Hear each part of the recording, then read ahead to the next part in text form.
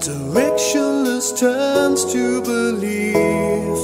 Now that I've found you, I